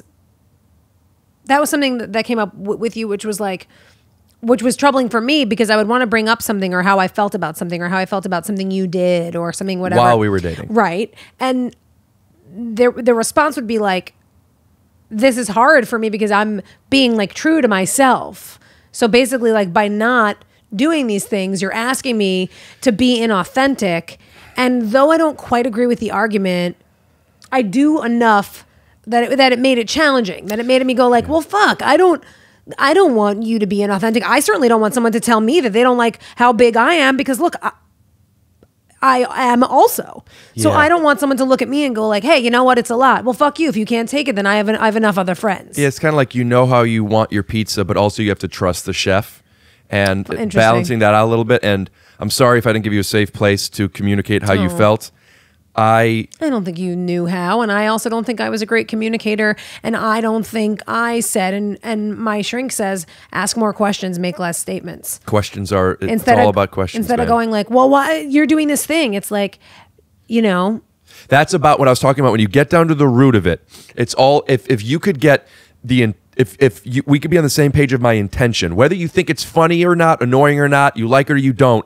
If you understand the intention, it's kind of why how a, a Jewish comedian can make a Jewish joke or a black Right. comedian a black joke. It's not that it's okay or it's not okay for it's just that oh I know, which by the way, falsely, I could be a Jew hating Jew, Right. but you assume oh it's okay, I'm I Jewish, trust their yeah. intention. So if you could, so that's what it comes down to, and that's what that's why questions are so great. I when I fell in love with, maybe I fell in love with Dax before this, but while we were dating, uh, I would go to Dax and Kristen's house a bit with you, and when I like when I started like, oh, I love these people so much. There was I- one idols. moment when when it happened, and then that's been happening before and after, but that's when I oh, I love these people. It was the way they communicate with each other. Forget it. And we're in the kitchen, and uh, we're sitting down. Dax is sitting next to me because you know we were just boys and we're kicking it. Yeah, and you we're guys are just friends. being guys, Yeah. being guys, doing guy stuff. Sitting, Kristen said kitchen, something talking, about- both on stools, just being like, "Oh fuck bitches" and stuff like that. That's cool. You and yeah, Dax. yeah, he's the best. I know. but Kristen said something about his hat, made fun of him. And Dax didn't understand why she did that. Did you say that because I don't remember exactly what it was, but it was did you say that because you don't like the way it looks or were you making a joke about the brand of the hat or blah blah blah blah whatever it was? Because if you were saying this that would kind of that like hurts my feelings a little bit. And she said, "Oh, I'm so glad that you said that to me. No, this is what I meant."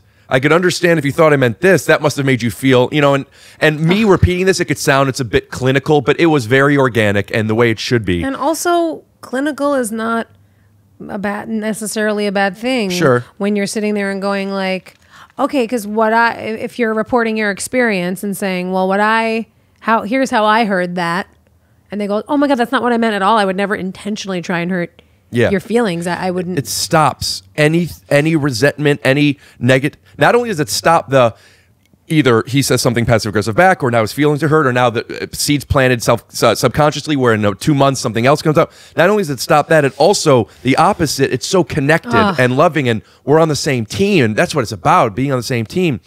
So I don't remember the point of that. Um. Oh yeah. No. Well, you were saying like, sorry if I didn't give you Yeah. a space, but uh, have- being authentic and just communicating and Yeah, I think it was maybe just its own and sidebar. I was just saying that we didn't. Dax. Neither of us was in a place at that time to Yeah. have like. yeah didn't just you know I- i didn't have the tool i didn't have the understanding of self Same. enough to even you know i didn't know i needed to put a picture up on the wall i definitely don't have a hammer you know And I and instead of me going like, "Hey, I want to ask questions," and go like, "Well, when was the last time you did feel understood? And when was the last time you did feel seen? And is is there a way I can word this that would maybe make it feel kinder? I want to." communicate with you in a way that feels kind and comfortable instead my brain was like how the fuck does he not know Right. what i'm saying Yeah, But by that- the way that's what it this was, the intention. this was the intention right so this was before i knew that you were on the spectrum though i had a sneaking suspicion why was it sneaking it snuck up on me when I would talk to you and you'd go, it just snuck up. right this is Uh. i do want to, ta- to tap into that that real quick was was i used to do that i guess i used to do that but with I'll you do, I'll do it to, I'll do it to, I'll do it to the camera. So I would talk to, to Ricky and I would be telling him something like about my family or something that was either intense or maybe just even a joke. Maybe just telling him a fucking joke. And he would, and then I would look at him and during the whole thing, he would be doing varying degrees of this. It's not- wait, I have to do make the eyes deader. Hold on. I can't because making me laugh. That is what he would do. And then I would say to him, Hey, do you know that when I'm when I was just telling you that oh is that how you said it to me Yeah. I would go you, like s- you said are you listening to me Yeah. Well, I would go like, Are you even listening? Do you know? But no, I remember I consciously remember saying, because I spoke to my fucking therapist about it, and the term I used was that I was raising your consciousness.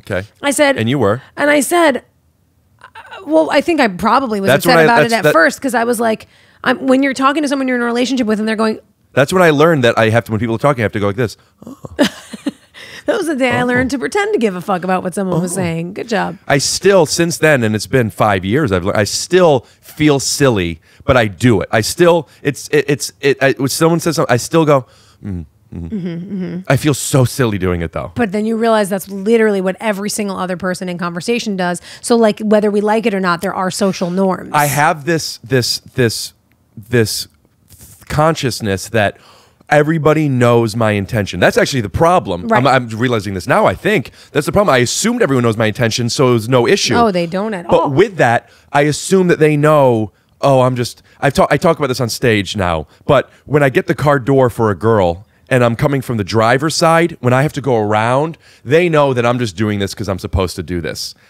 And I know they know that. So now I know they know that I'm just manipulating them into thinking I'm a good guy. They- Right. so she's just going to think, oh, I'm just trying to fuck her. When the truth is, if she begged me to fuck her, I, I would need another week.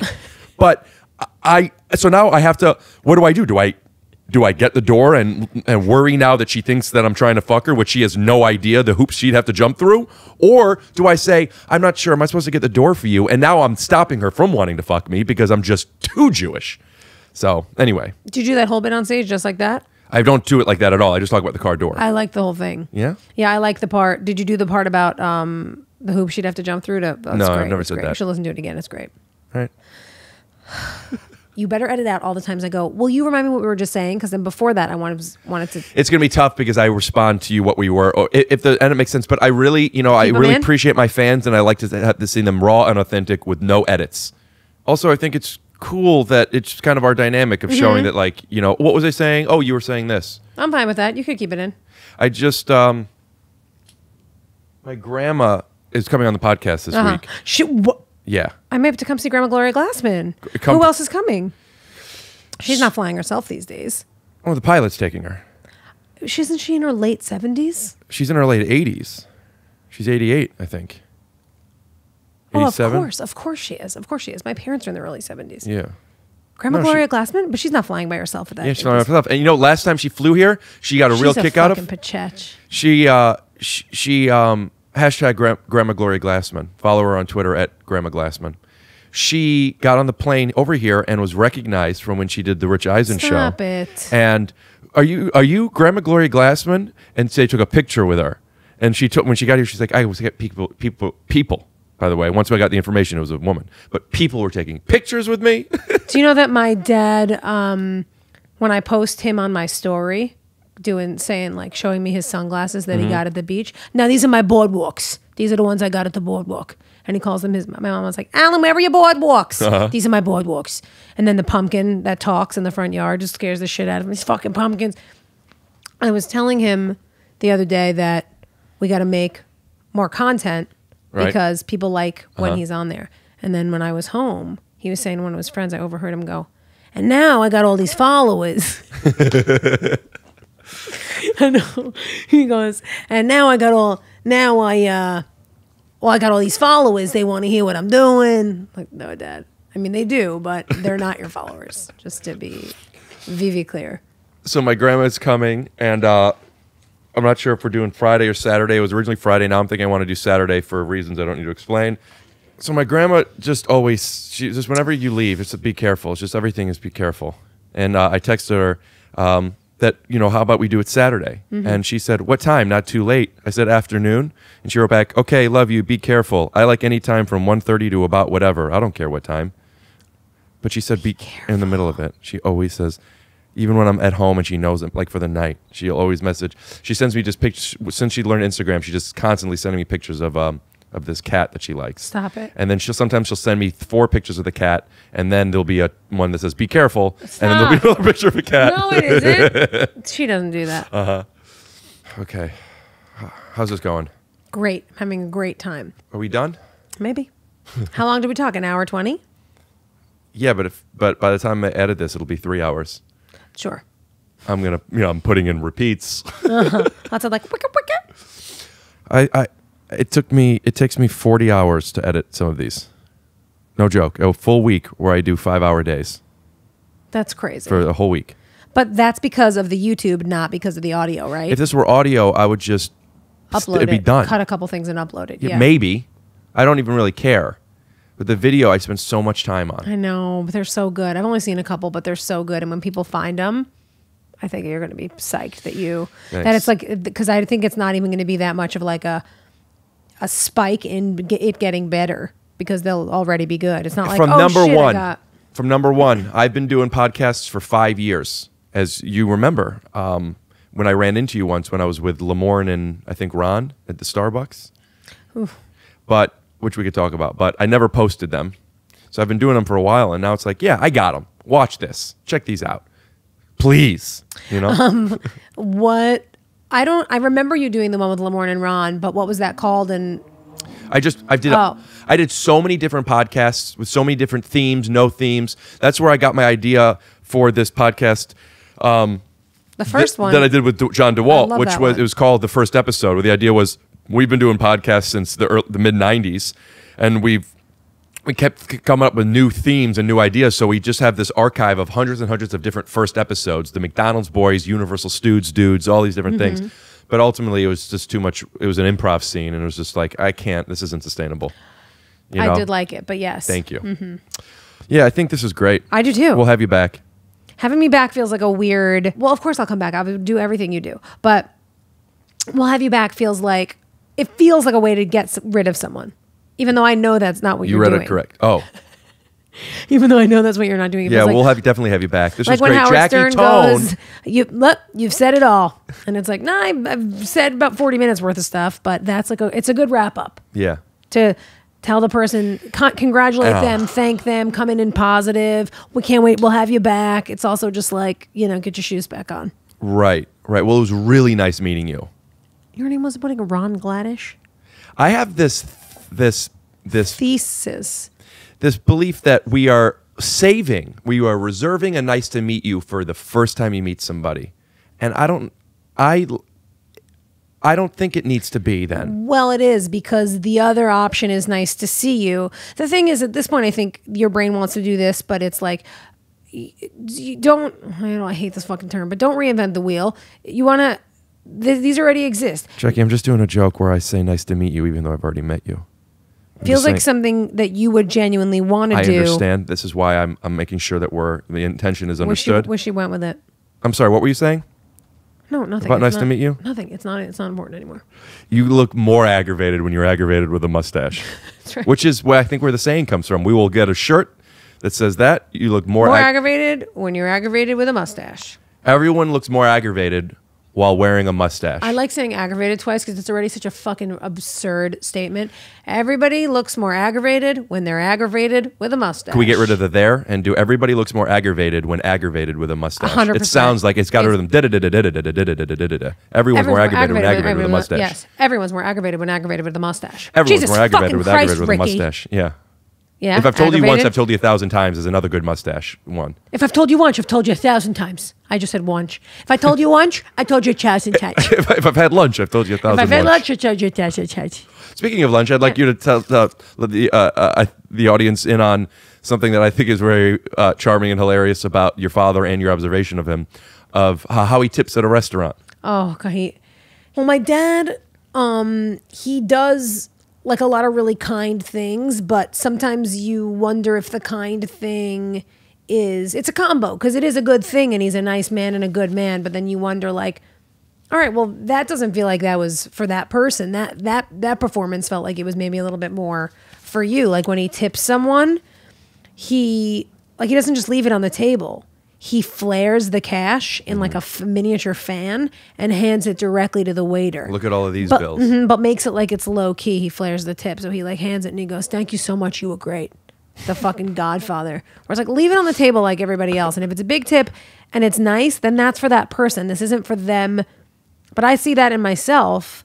I don't do that, but that thing of like needing to be liked to a point of like letting a waiter know that you really, I really took care of him. Something happened last night at the Improv where they gave a guy got a, guy gave me his, a drink, and then that was the end of it. And I, Rewind. A guy gave you a drink. a bar, the, I, I got a, a drink from the bar. Okay, when you said a guy gave me a drink, I thought you meant a gentleman bought you a drink, which I was fine with, but I wanted to of course, understand. that question existed. I Sure. of course makes total Fair. sense. Bartender. Bartender. Try not to say bartender too much. Bartender. So I got the drink and great, everything's good. And then I want to give him three bucks, but I, uh, I I wasn't even conscious of this. I just tapped tapped him on the shoulder. He was right next to me. I tapped, it's dark. You don't want to say anything. It's you know there's a show going. on. I tap him on the shoulder. He looks. I, I show him the three bucks and I, and I put it on the bar. Oy. And then he goes and I went like that. Didn't think anything of it. Uh, and then I got home. I was thinking like, oh, Did I, just flare the tip? did I, and then I, I I had a conversation with myself, and I here's here's what I could. I went back. I went back. I said, "Listen to me, Pete. I apologize. That was cheesy. I should have just given you the tip and not made it about my performance of how good a person I am to have been giving you such a large tip." Love the bit. The exact opposite, though. what I said was, "Well, Rick, why did you want? Why? What you wanted him to know that you gave him the three bucks?" And you know what? I my answer was, Yeah. "Yeah." And then you know what I thought? Yeah. So, and then I was like, "Oh, that's fine." And if he had a problem with that, it's on him. He would never have a problem with it. Probably it. not. It's my mom who has a problem with it. And I understand where it's like, we'll just leave it on the table. And like if we're go to an ice cream shop, like when I'm back east over the summer, we'll go to like these little pop-up ice cream shops. And he waits, like the person goes and gets the ice cream and he could he's already paid. He could drop the tip in the Right. jar like every fucking other person on the planet.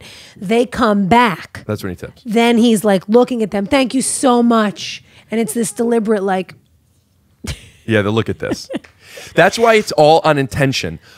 Your Uh, thing feels a- like a it lot was more because it was loud. Yeah, so I- you could have just left it on the bar. Yeah, Right. and, and sometimes, sometimes I, I would do that. Sometimes it's like they, they, they go, you do whatever, you leave it, whatever. Who gives a shit? For whatever reason, there I wanted him to know that because you know you, I get free, you get free drinks because you're performing. I wanted him to know that like I, I'm not taking. I don't mean to take it. Like I want, thank you. I, I'm Yeah. not taking it. I wanted you to know that I'm not just taking the drink, and that's okay to want him to know that. I think that's nice. Yeah. I think it's a. I do. I do. I, there, there's a distinction, especially because when we do shows, they give us free drinks, and I think a lot of comics don't tip because they're like, "I'm doing a show here, but like that person is still working." Yeah, the bartender didn't book you. hundred percent, and he's fucking back there standing all night. Give him a couple bucks. Plus, he's that back there. At least for me, I don't know if you could relate to this. And every time, just how much they come over and like, I love watching you perform. Aw. I'm not even joking. I mean, my intention of bringing this up was a cocky thing, but also this is the truth. It's crazy how The much more- bartenders like my little sets. Note, little note to the bartenders at the comedy clubs: the more you compliment Ricky, the more tip you're gonna get. I, I'm going to give two or three dollars a Okay, drink. Okay, it's gonna be. There's a cap. Um, no, I usually, I usually, um, quick revoke. Uh, Yeah. There's a cap. It's two or three. no, the cap to- is five. No.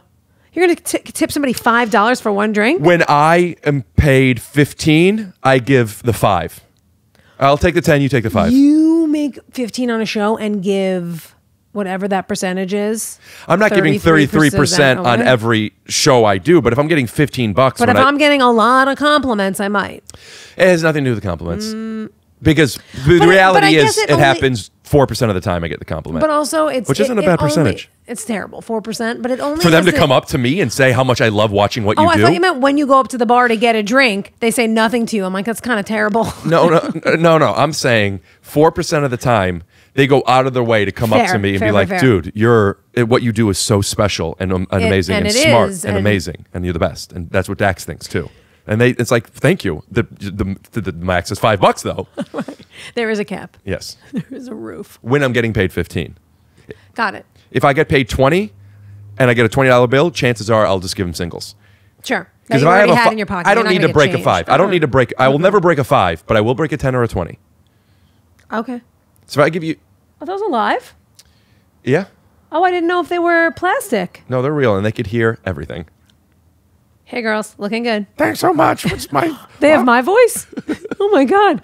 Hey, Is that, how, girls. is that how you hear yourself? no, a little bit. Oh, No, but like when I like it, it, it took me. It wasn't until well into my 30s I was like similar re- re- thing of you of um the realization you came to where I was like what I'm annoying. How did that get by me for so long? I just thought this was like a charming shtick everybody was in on. Yeah. it's grating to some people. that is fascinating. Got a lot of spit in my mouth. um, I'm sorry, I was just a little confused by that statement. You said well into your 30s. you look like her daughter. Where do you guys? Were you guys? Were you guys sisters? Yeah, whenever you meet a, if you know, here's a little hot take uh, for for you guys out there. If you ever, You're really a millennial. You've said hot take a couple times today. Thank you. WTF? Thank you, with or without Marc Maron. With. So I, Elizabeth. I when, when you meet a girl uh, and her mom, or when you meet a girl's mom, it's important to shake her hand and look confused. And you could slow play it for up to five seconds. You want her to say, "What's the matter?" If she doesn't, don't lean into it and then just bring it up. But best case scenario, she says, "What's the matter?" And you say, "I'm just." Confused. Are you her mom or are you guys sisters? Ay, ay, And then make sure when you say that, you put your head back and you look, you squint, and you look real confused. Sisters. And then if it looks like it's going well, you you could tag it with putting your hands up like this, and you go, oh, "What is happening here? This is a great What idea. is happening here?" And you then can put that little bit up as like just an Instagram clip as like a sure, yeah for people to so they can understand. Maybe I'll do it tighter so it could be within 15 seconds. Or does it go- is it good? No, it's good. And I don't even mean for story. I mean like put that on your static feed so because you're giving a tutorial that a lot of people need to know. Yeah, I'm thinking about writing a book um, that's called uh, How all to the meet girls' moms. no, uh, but that could be a, a chapter or what to do when meeting. I don't know how to meet one, but when I do, True, true, fair. I prefer Dos Equis. About uh, uh, the unwritten the unwritten rules written.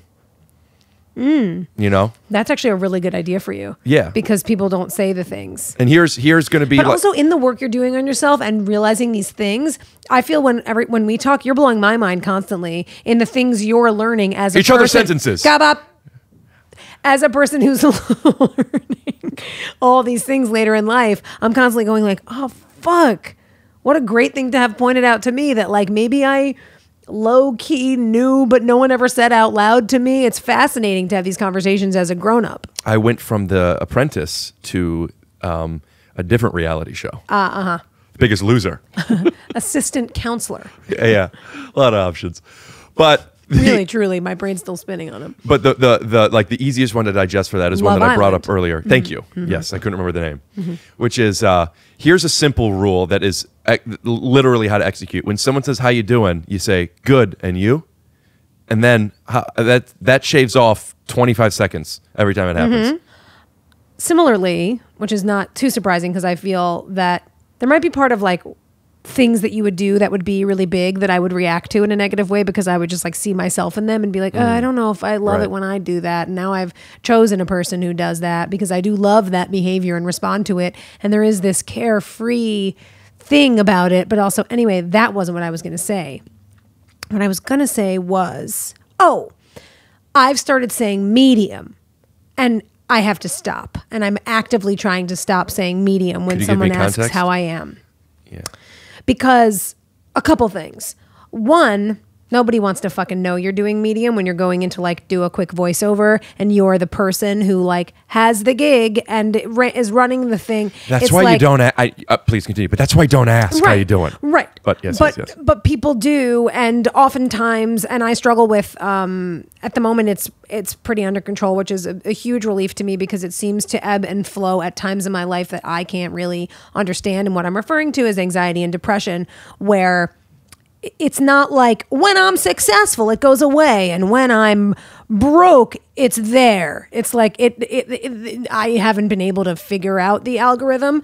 So when I'm in a position of things going what seems well, actually doesn't seem well, is objectively a person doing well that doesn't mean like my emotional state is is is hot shit and it was starting to annoy me and this is probably this is starting to feel like privileged and shitty but it was like uh, when people would ask how are you I know that it's just a nice question and someone's just sort of checking in with you as a human and it's a social construct and it exists. But I just started saying medium because I didn't feel like going good, good, really good when I was like really sad about something or whatever it was. Yeah. And I guess it's like, you know what? What principle am I standing on? I'm actually coming to this conclusion right now by like, that's another example of like, do you need to be that authentic and true to yourself in that moment? No. Tell the person at the voiceover session who's just throwing a pleasantry in your direction that their mom and teacher and friends and society has taught them. Just fucking say good and move on. Yeah. But I was having a moment of like, well, I don't really feel Right.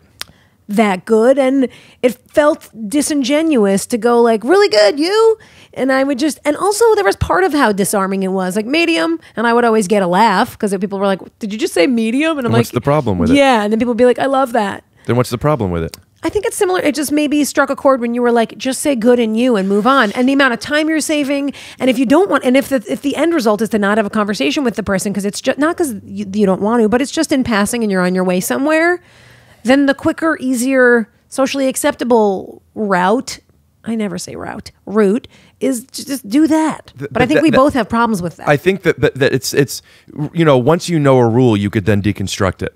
But that's the good new is the default. It isn't it isn't a hard Right. rule. It's a default. So when you're in this thing and and it doesn't matter if you could just say just remember good new good new. But if it doesn't feel authentic, you could literally say whatever you want. I mean, I, say this a lot of times, which I'm trying to do more good in you.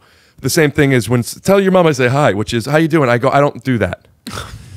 You know, I, I don't. I don't do that. But and, and And sometimes it's really funny and charming, and sometimes it's like living your life with Larry David, where it's like that's funny on television, but interpersonally, if you tell someone I'm not doing that, But that's I- such a shutdown of that person that makes them so uncomfortable. Absolutely. And that's why it's important to accept yourself. And I'm not, here it is, I'm admitting this again, and I used to be embarrassed about this. I'm not perfect. And sometimes you're going to be a little uncomfortable at the expense of me not being very uncomfortable. And just, you also That's know. interesting though, and then it's boundaries and you knowing what you And you won't ask me anymore. Right. And if you do, it's an easier way to digest when I said, I told you I don't do this.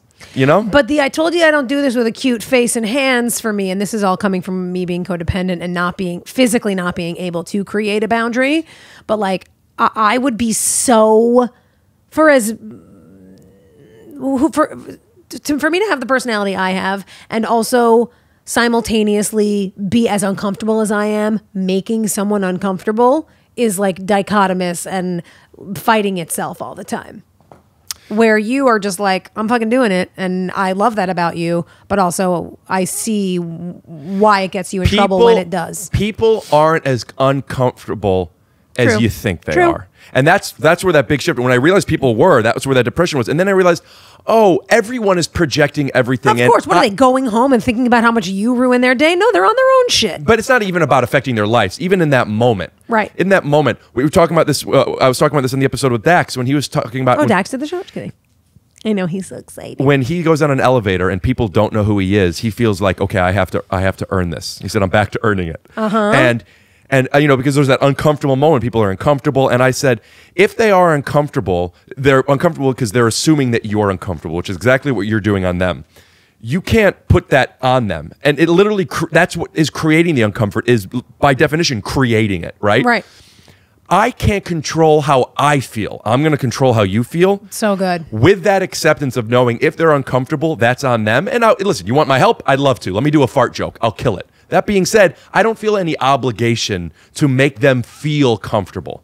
And with that, I do that's where I think the, the I wish I didn't. I'm not proud of it. I'm not walking around being like, "Hooray! I have my my happiness is dependent upon the happiness of the people that I'm in an elevator with." But you know it's that. one thing if it, my happiness is dependent upon a person I'm very close to. Sure, I don't want to make you upset ever. But if I'm in a, like when I on the first day of training for Glow season one, we walk into the ring and we're all about to wrestle for the first time any of us have ever wrestled.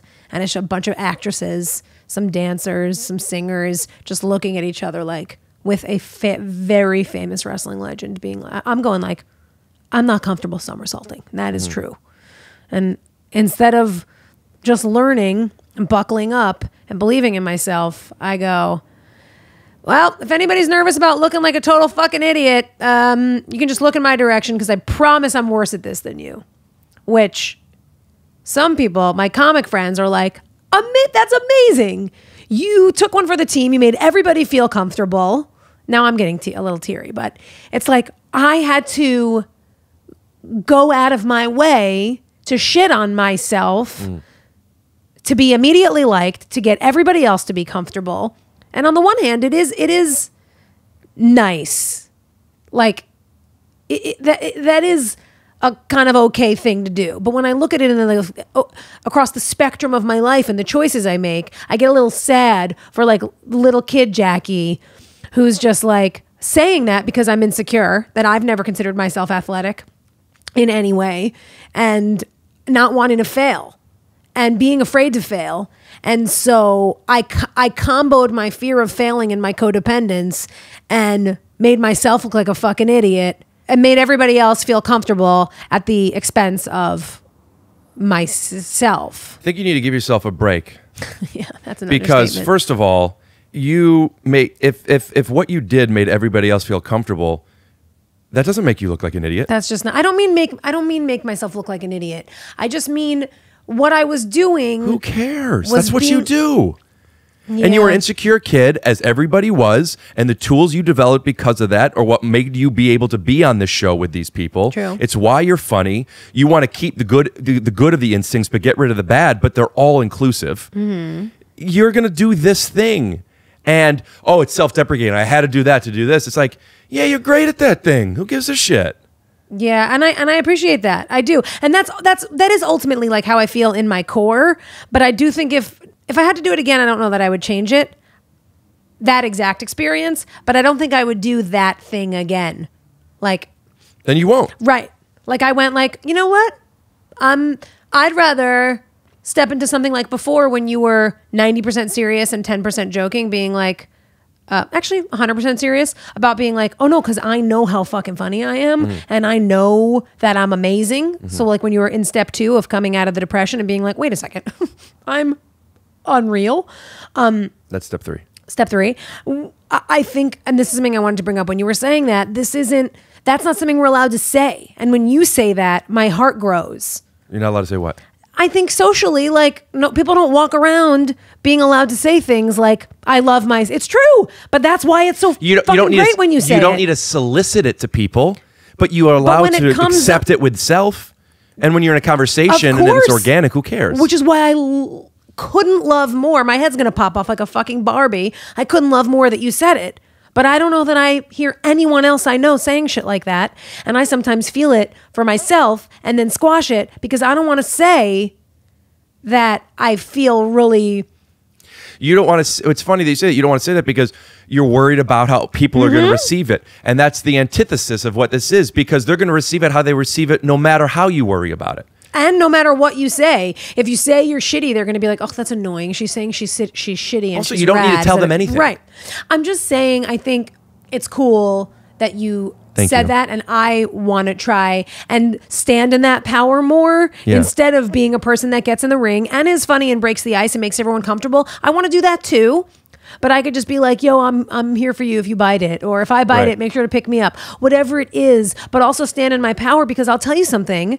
They didn't give me a lot of fucking moves season one because I fucking told them first that I couldn't. Mm-hmm. And now it's going to really make me cry because I stepped into a situation and I was like, hear ye, hear ye, I can't.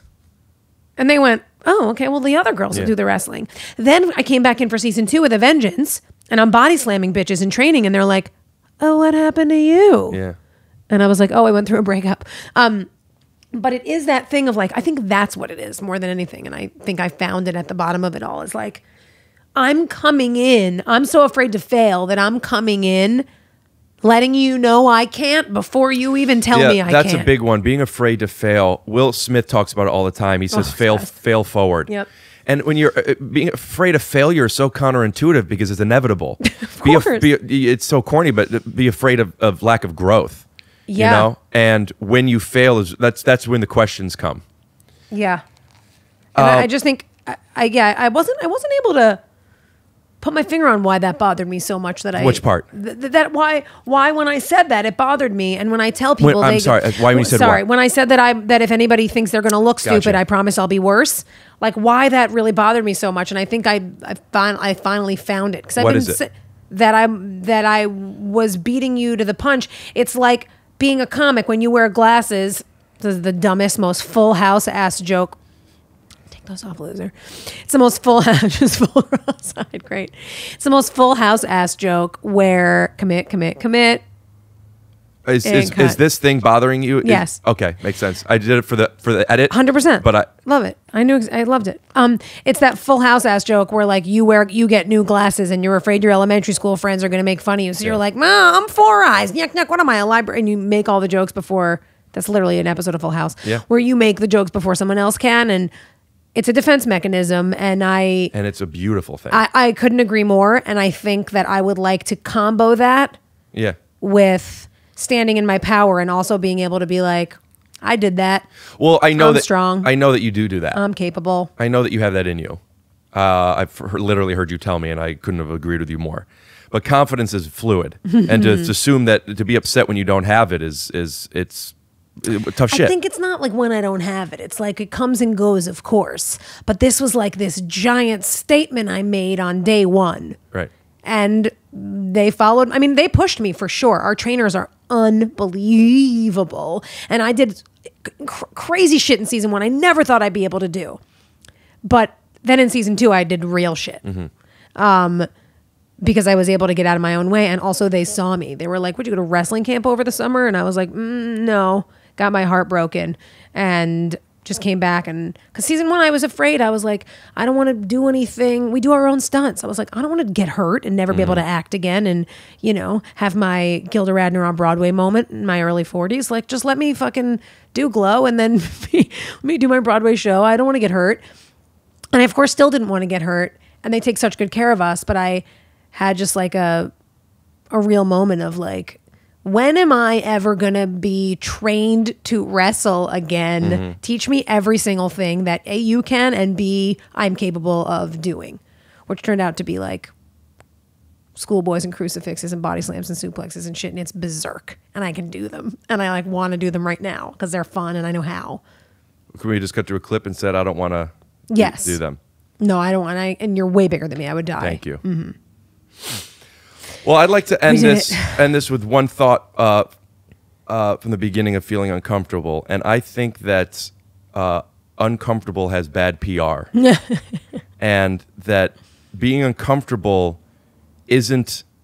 If you weren't, if one wasn't afraid of it or didn't try to avoid it, how much, how much easier things would be. And you don't necessarily have to Mm. Seek it. it, like I sometimes do for a bit Sure.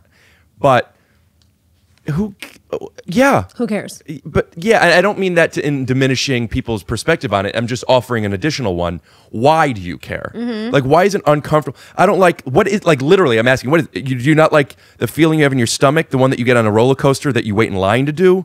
Do you not like it because you're unsure of something which is the reason you don't want spoilers for a movie? You don't feel safe? You don't have expectation what's the problem with Mm-hmm. it if you don't feel safe, I understand. And some uncomfort is tap tapping in that thing where you you fear for something. But when it's a, social thing where you know worst case scenario is still low stakes. What if they Yeah. think that Who cares? yeah, and once I hear you. Personally, becoming comfortable in that uncomfort Discomfort. thank you. Then you get to you get to literally live in it and not be distracted by it. That's and then a it's just really good point. Thanks. Kristen tweeted something the other day, was a retweet of somebody, but it was like um, somebody named Tank Sinatra, George Resch said, You can care about things without being upset all the time. I mm-hmm. think people might not know this. And I literally, I, it was so funny. I was jaw dropped when I read this. Mm-hmm. Never. I was like, but I fucking care about that. So of course I'm upset. And it's like, or back to this visual I have of like a woman in the cool Joan of Arc gear, sort of armor, but not armor. Like maybe Today's armor. maybe leather flaps Yeah. coming down in like triangle shapes, just standing with like a sword in the ground. And when I have a decision to make, I don't need to freak out. Just stand in my power, call the person that I have either the issue with or the concern or the point I'd like to make, and just make it. And be calm and kind and clear and just make it. Not I feel like I feel like I'm coming from this like frenetic place sometimes that I really, really don't want to be coming from. And that made me go like, oh, well, yeah, I guess I don't, I don't need to be so bad out of shape, huh? You should just care about the thing and not be freaking the fuck out.